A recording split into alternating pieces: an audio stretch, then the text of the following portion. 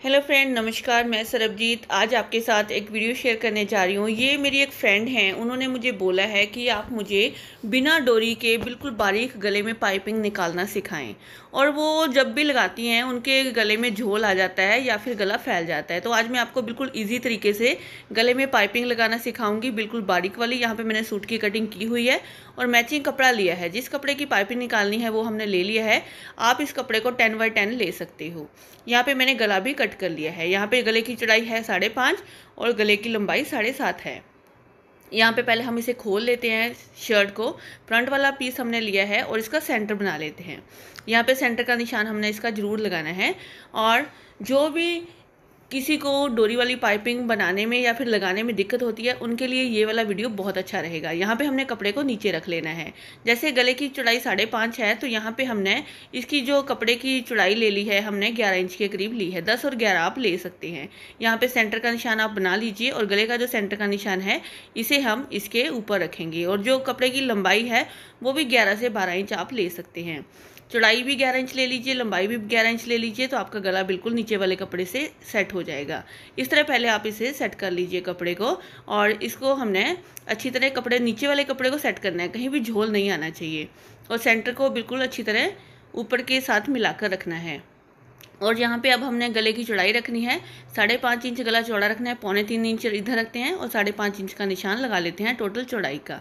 अब हमने जो बुकरम कट की है, बुकरम को हम इसके ऊपर रख के पहले रफ सिल लेंगे। यहाँ पे हम बुकरम को रखेंगे और एक कच्ची सिलाई लगा लेंगे ताकि गला हमारा ऊपर से सेट हो जाए। इस, ऐसा करने से गला हमारा हिलता भी नहीं है और टेढ़ा भी नहीं होता है। अब दोनों हिस्सों में बुकरम की पट्टी लगाकर इसे सेट कर लेते हैं। और इसे अब हम यहाँ पे रखकर ज्वाइन करेंगे किसी पिन के साथ।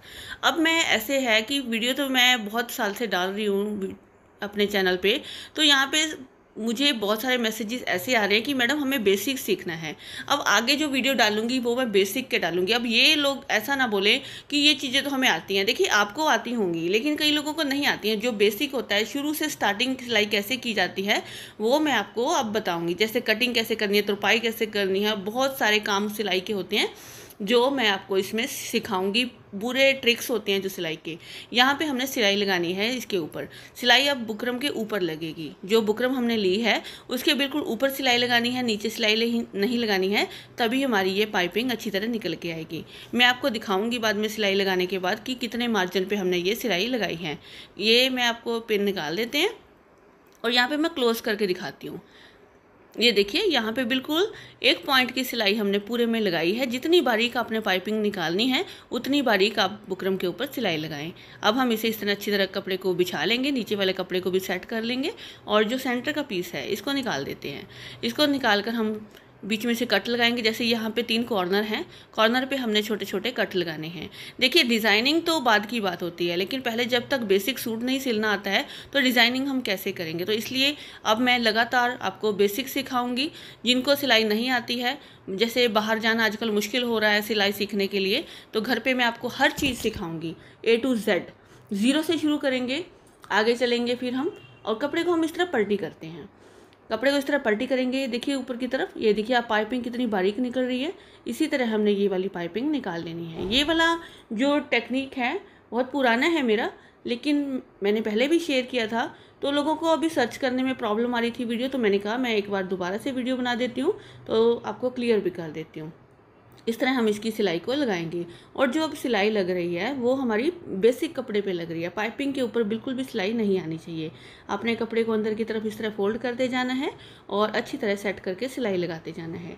और पाइपिंग के ऊपर बिल्कुल भी सिलाई नहीं आनी चाहिए, नहीं तो फिनिशिंग ख़राब हो जाएगी। अब देखिए, पूरे गले में मैंने इस तरह सिलाई लगा ली है। अब हमने कपड़े को इस तरह उल्टा रखना है। अब जो पाइपिंग वाला कपड़ा है, वो थोड़ा ज़्यादा है। यहाँ पे बुकरम से थोड़ा आधा इंच छोड़कर मतलब बुकरम से आधा इंच ज़्यादा कपड़ा कट गए हम। इसको एक्स्ट्रा को निकाल देंगे और बाकी के कपड़े को हम अंदर की तरफ़ फोल्ड करेंगे। यहाँ पे इस कपड़े को हमने पहले थोड़ा ज़्यादा लेना होता है, बाद में हमने इसे काटना होता है। अगर पहले ही हम थोड़ा ले लेंगे, तब ये बात फिर फोल्ड नहीं हो पाता है अंदर की तरफ़ से और फिनिशिंग नहीं होती है। तो यहाँ पे अब हमने इसे ऐसे बुकरम को इस तरह पलटी करना है और कपड़े को ऊपर की तरफ़ रख के एक सिलाई लगा देनी है, ताकि ये कपड़ा बाहर की तरफ़ बिल्कुल ना निकले। अब इसको पूरे को सिलाई लगा कर मैं आपको एक बार दिखाती हूँ। अब लीजिए पूरे में सिलाई लग गई है। अब मैं आपको सीधा करके दिखाती हूँ शर्ट को। ये देखिए, यहाँ पे हमने एक रफ सिलाई लगा देनी होती है। साइड में हम आधे इंच को छोड़ के एक रफ सिलाई लगा देते हैं, जिस जिसे हम बाद में तुरपाई करके खोल देंगे। ये कच्ची सिलाई होती है, थोड़े मोटे बखिए से लगाई जाती है। इसको लगाने के बाद जब तुरपाई करते हैं तो बहुत अच्छी फिनिशिंग आती है। ये आप ज़रूर लगा लें। लीजिए, गला हमारा बनकर तैयार हो गया है। मैं आपको क्लोज करके भी दिखा देती हूँ। बहुत ही अच्छी फिनिशिंग आई है। बहुत ही बिल्कुल फिनिशिंग से ये गला बनकर तैयार हुआ है। जिन लोगों को गले में प्रॉब्लम आती है, झोल आता है पाइपिंग नहीं लगती है तो वो इस तरीके से लगाएँ। कोई भी डिज़ाइन हो, कैसा भी डिज़ाइन हो, उसमें ये पाइपिंग हमारी सेट हो जाती है। तो वीडियो आपको कैसी लगी है कमेंट में बताएँ ज़रूर। वीडियो देखने के लिए आप सभी का बहुत बहुत धन्यवाद। Thank you for watching